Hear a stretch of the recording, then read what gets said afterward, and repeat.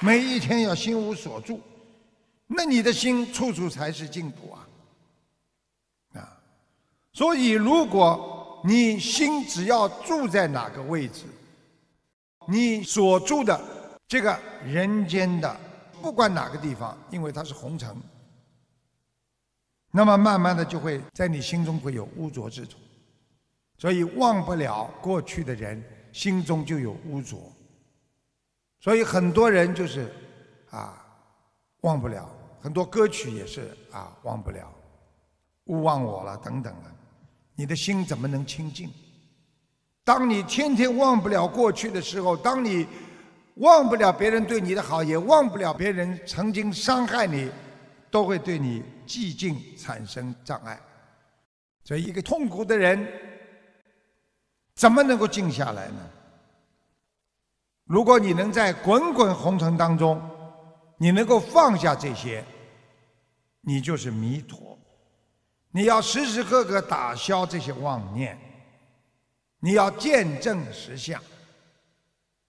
死要面子的人，啊，不会有好的果报的。啊，以相妙用，以真实的如来相。来印证自己内心的佛像，对人间看穿看破，但是要善待，要妙用，这就是我们所说的禅门观。能够有智慧来看待这个世界的一切，你就拥有了超越我们一般凡尘的烦恼障碍的一种智慧。所以念经。同样也是要把这些经文念到自己的第八意识当中去。这个种子成熟了，你就可以往生西方极乐世界。你今天念经的人能够念成了，你就成功了。所以念经要念出佛的种子，做人要做出圣人，学佛要把佛的愿力做出来，学出来。然后你才能产生愿力，你才能用这个愿力去战胜人间一切烦恼，你最后才能成为人间的活佛。今天呢，啊，师父呢接受到一篇一个弟子的忏悔信，这个弟子说呢，昨天无意当中看见一篇文章。是关于佛陀教子的文章。他说：“我突然发现，原来师父教育我们，啊，和佛陀，啊是一样的方法。对我们的慧命，师父格外的重视；对我们的毛病深恶痛绝；对我们的生活关心记挂，因人施教，既有狮子吼，又有。”啊，谆谆的善诱，教导我们真修实修，不要功高我慢。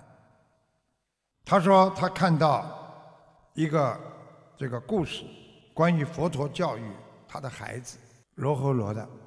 师父在这里今天给大家讲一个故事，就是讲佛陀怎么教育啊他的孩子。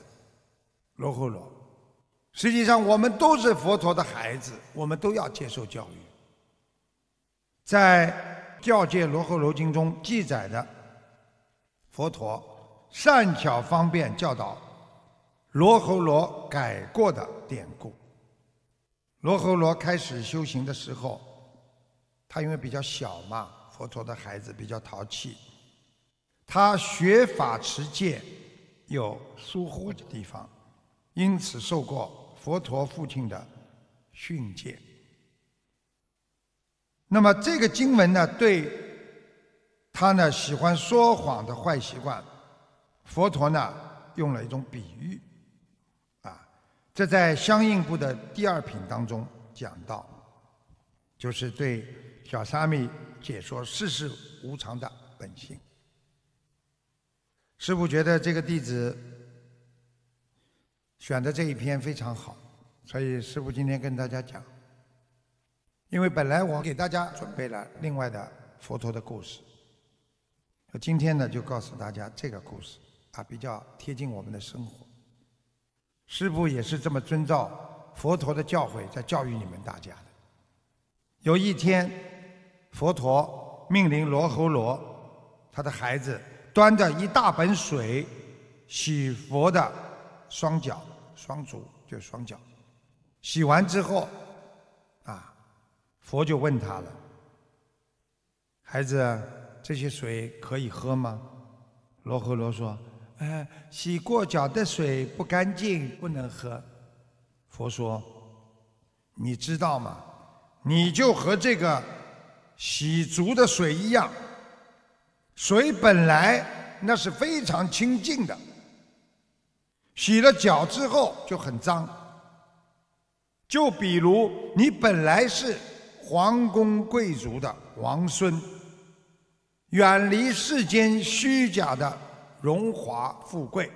你现在出家做沙门，你不精进修道，不清净身心，不守口圣言，整天讲玩笑话骗人，三毒的污垢填满了你的心中，同清净的水里。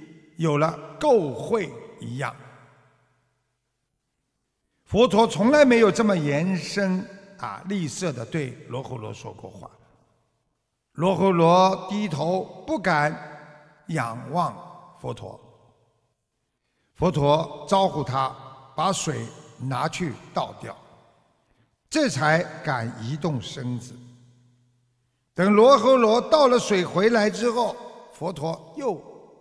再问他：“这个盆可以用来盛饭、洗米、洗菜吗？”罗睺罗说：“嗯，洗脚的盆不可以盛饭吃，因为盆里不干净，上面有污垢粘着，所以不能装东西吃。”佛说：“你就是和这个盆一样。”你虽然出家做了沙门，但是你不修戒定慧，不净身口意，满身充斥着不实的垢秽，圣洁光明的智慧，大道的啊资粮，怎么能够装进你的心中啊？佛陀说后，用脚把盆子。轻轻一踢，盆子就滚得转起来了。罗睺罗很害怕的样子。佛陀就问他：“罗睺罗，你怕把这个盆子踢坏吗？”罗睺罗说：“嗯，佛陀不是洗足的盆是很粗的啊，用物坏了也不要紧。”佛陀跟他讲：“罗睺罗。”你就和这个盆子一样，不会得到大家的尊敬和爱护。你出家做沙门，不重威仪，戏弄妄言，自甘堕落，自取下贱。这个结果将使谁都不爱护你、珍视你。就是到了命中的时候。也不能觉悟，你会处在迷中，增加更多的迷惑。罗侯罗全身流汗，惭愧的啊，无地容身。他发誓自己以后一定要改变自己的心，啊，我绝对不能自甘堕落。这个故事就是告诉我们，对弟子们身上的毛病。作为一个师傅，要严加管理。如果对弟子身上的毛病不好好的管，就是放纵，就是在伤害他，就是看见他自甘堕落，让别人看不起他。所以要熟悉自我，自己要了解自我，要降服自我，要改变自我。否则更何谈去改变别人？所以学佛是对自我佛心的和善心的一个交代，啊，不是做给别人看的。很多人的一辈子假修，有什么用？所以要了解一个人，让这个人修心，首先要看他的出发点和他的目的是不是相符合。你看，我们很多学佛人，出发点就是为了让自己家里有一个病人身体好，就单单这个出发点。等到他家里病人求好了，他就不修了。真正有智慧的人，今天的学佛，不是单单为了帮助家里人，不是单单的为自己求的顺利，人间去除很多烦恼，而是你真正的目的是要超脱六道，能够一世修成。如果你的目的和你今天最后的愿望那是相符的。那你这个人就很容易，啊，方得始终，啊，你就很容易，啊，不忘初心。这就是师父告诉你们的，要了解，要看他的出发点和他的目的，你就知道他是否真心。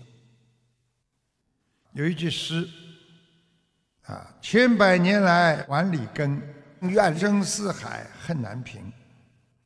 欲知世上刀兵劫，啊！欲知这个世界上有这么多刀兵劫，但听屠门夜半声，啊！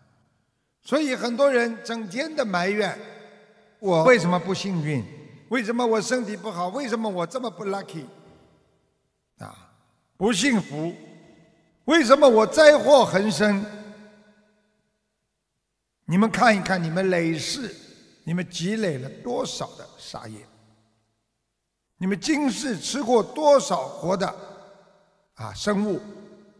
这一切都是一种业报啊！所以学佛要有正确的修行观，才能开启你内在本有的智慧啊！所以有的佛教徒在还没有学佛之前，他觉得他很快乐。但是学佛之后，他慢慢觉得自己有束缚了，觉得很痛苦，还让家里人跟着他一起痛苦。有的在家居士有心学佛，是一件好事，但是必须认清楚自己啊为什么学佛？因为想永远的幸福，永远的脱离痛苦。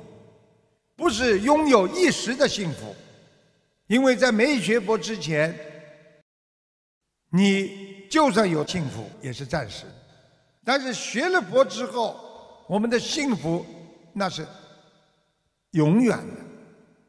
这就是修行的分别。所以正修的人在内心深处改变，而假修为了某一个目的在修行的人。他只是为了某一个方法，或者用一种理念，在学佛的过程当中来改变一下自己。所以要修心，每一天必须花很多时间念佛、拜佛、念经，啊，包括自己共修、做善事，或与修行相关的功课上。这就是我们学佛人应该做的事情。每一天的精进会使你进步，每一天的懈怠会使你丢失你的本性。希望大家好好的学佛，好好的改变，真修实修，进入如来智慧，用如来的智慧让自己一世修成，永断轮回。